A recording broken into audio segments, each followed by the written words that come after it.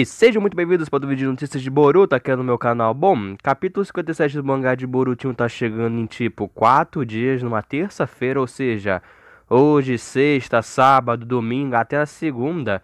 Vai ter spoiler, final de semana recheado de conteúdo e bora lá com o primeiro de muitos vídeos de spoiler, acredito eu. Se tu quiser tomar spoiler, é bom sair do vídeo agora, porque Embora essa primeira leva de spoiler não teve nada de oh meu Deus, teve sim um negócio bem tocante. E como sempre as informações desse vídeo são graças ao portal Boruto Brasil, vou deixar o link do Twitter aqui na descrição do meu vídeo. E somente ele diz aí que a capa do capítulo 57 vai estampar a Eida, sendo que esse capítulo vai ter um foco absurdo nela, no Codes e no personagem chamado Bug, que se eu não me engano foi introduzido no capítulo passado, mas enfim... Vai ser um capítulo também mais longo, pelo que eu andei apurando por aí, então deve ter mais páginas. Vai ser o famoso capítulo também de bastante papo e o Kawaki e o Boruto não vão aparecer, mas vão ser citados, ou seja, ah, vamos botar a pra escutar a conversa. Próxima parte dos spoilers diz assim, ó. Amado criou Dorgas, supressoras de Byakugan e as deu a Naruto. Elas podem ter alguma eficácia suprimindo as células de sofrerem a transformação de Otsuki. Boruto teria que tomar esses inibidores sempre. Os efeitos colaterais são a perda da visão somente ou a morte, nada, né, colateral. E faz todo sentido que o amado tenha acesso a tal medicamento, afinal de contas ele estava ali trabalhando diretamente, não é mesmo? Com o Utsuki, com o Jigen, passando karma para receptáculos, faz sentido. E olha só, né?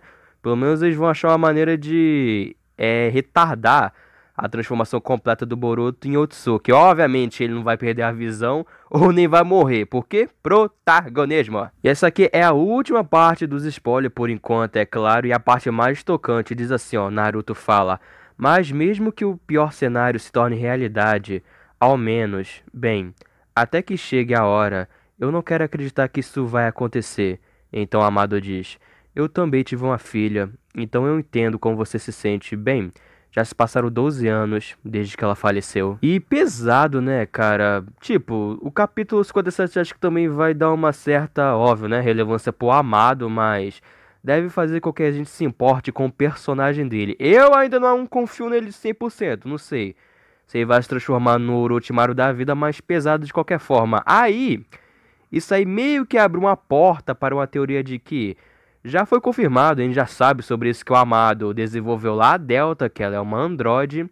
Será que o design dela é baseada na filha morta do Amado? Hum. Ou a segunda opção que também pode ser verdade, e se a Eida, que também é uma androide, o Amado criou ela a partir da sua filha morta, os designs, etc. Porque no capítulo passado a gente ficou sabendo que foi o Amado que construiu lá o exército de androides, só que o Jigen foi lá e falou, nah, para com isso aí que tá, vai dar ruim. Então é, pode ser a Delta ou a Ada. Claro que isso é só uma teoria, pode ser que a filha dele morreu e é isso. Nunca se sabe, não é mesmo?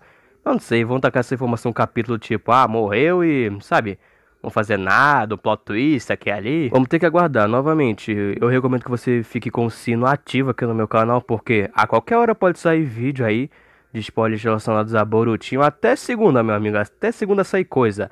Até a próxima, galera. Fui!